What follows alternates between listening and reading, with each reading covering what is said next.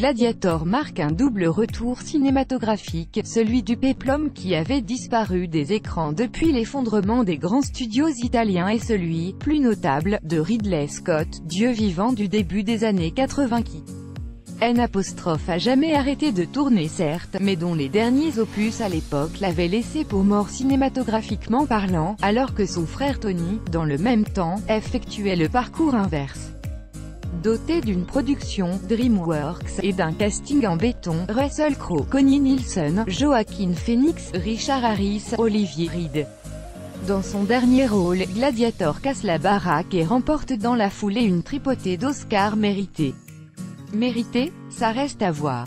Le scénario calque habilement ceux de la chute de l'Empire romain d'Anthony Mann, Ben Hur ou encore José Wells hors-la-loi, et nous présente un nouveau personnage dont le nom se termine en or.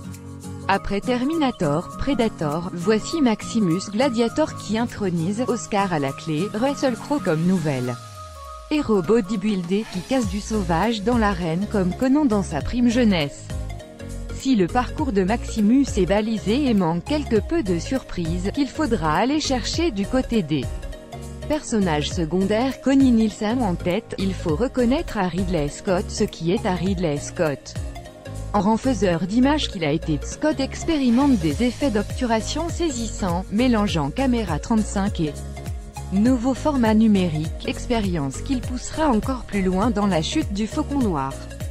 Certaines scènes d'action sont saisissantes, le combat qui ouvre le film mettant en présence les troupes de Maximus face aux envahisseurs barbares. De même la reconstitution numérique et historique est presque trop parfaite, Scott maîtrise ses images et les outils numériques mis à sa disposition. Un autre point en faveur de Gladiator vient de son absence totale de cynisme et d'humour. Ridley Scott met en scène un récit au premier degré où les désordres psychologiques, esquissés mais rendus palpables par le casting impeccable, Joaquin Phoenix en empereur mal aimé et torturé par l'inceste et surtout le personnage féminin incarné par Connie Nielsen qui navigue en territoire hostile, la reine du pouvoir, essayant de préserver son fils de la folie de son empereur de frère tout en restant fidèle à son amour renaissant mais impossible envers Maximus, viennent servir et renforcer une histoire de vengeance somme toute banale. Même le thème de Hans Zimmer est beau et serait écoutable s'il n'était pas monté en boucle 50 fois durant le film. Tous ces points positifs font de Gladiator un bon film au regard de la production de blockbuster hollywoodien et c'est bien là le problème. Si Gladiator avait été réalisé par au hasard, Brett Ratner, on aurait applaudi au chef-d'œuvre.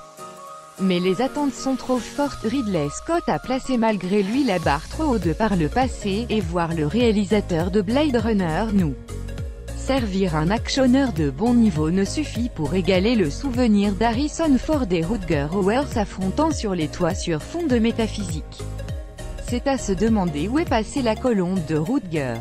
Car c'est bien d'âme qu'il s'agit ici, si celle du gladiator Maximus retourne apaisée auprès de celle de sa femme, celle de Ridley Scott semble s'être égarée, et définitivement perdue dans le bourbier nauséeux du Mogadiscio de la chute du Faucon Noir.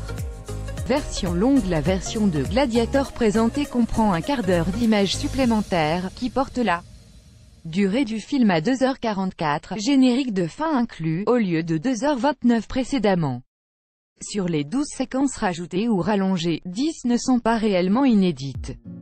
Puisqu'on avait pu les découvrir dans les scènes coupées de l'édition précédente. Voici la liste complète des ajouts réalisés, avec le nom sous lequel était présentée la séquence dans l'édition précédente, le timecode auquel elle apparaît dans le film et sa durée. Après la bataille, 16 minutes 45 s, 1 minute 10 s, le soir du combat contre les Germains, Maximus se rend au chevet des blessés avant de rejoindre la fête célébrant sa victoire. Il s'agit de l'ajout le plus évident, tellement il s'intègre parfaitement au récit au niveau du ton et de la musique de Hans Zimmer. Force et recueillement, 31 minutes 35 s, 40 s, quelques plans nous montrant Marc Aurel en train de méditer devant les buste de ses ancêtres avant d'annoncer à Commode qu'il ne lui succédera pas en tant qu'empereur. Première scène inédite, 52 minutes, 55 s, une discussion entre gladiateurs qui prend place entre la sélection entre rouge et jaune chez Proximo et le premier combat en arène. Le personnage du gladiateur qui surine dessus de peur juste avant ce combat y est en particulier développé. On apprend qu'il était scribe auparavant et qu'il est terrifié à l'idée de se battre. Le marché aux couleurs, 54,05 minutes S, 1 minute 20 S, toujours avant le premier combat des gladiateurs, une discussion entre Proximo et d'autres managers de gladiateurs qui parient sur l'issue de l'affrontement à venir. Les secrets de la gloire, 1h07 minutes et 25 secondes, 15 S, avant le combat, seul contre Tus, qui s'achève sur la décapitation à deux épées. Proximo harangue Maximus en lui demandant plus de spectacle et moins de barbarie pure, ceci afin de gagner les faveurs du public. Vox non populi, 1h18 minutes et 25 secondes, 3 minutes 45 s, juste avant l'arrivée de Maximus à Rome, Lucilia rend une visite nocturne à Gracchus. Pour faire un point sur la situation politique et se prononce en faveur de l'assassinat de son frère Commode. Gracchus lui répond que Commode est trop populaire pour le moment, qu'il faut être patient et attendre la bonne opportunité pour frapper. Père et fil, 1h37 minutes et 50 secondes, 1 minute 40 s, suite à la révélation de l'identité de Maximus en plein Colisée, Commode se rend dans les entrailles de son palais pour y déchaîner sa rage sur un buste de son père, qu'il mutile à coups d'épée.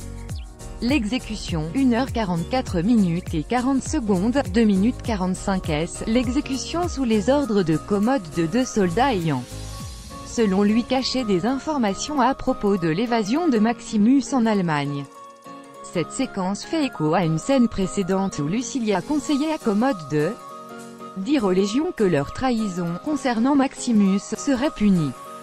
Surveiller et punir, 2h05 minutes et 40 secondes, 1 minute 10 Gracchus envoie l'un de ses domestiques remettre de l'or à Proximo en échange de son soutien à l'attentat qui se prépare, mais l'opération avorte à cause de la présence d'espions surveillant Proximo.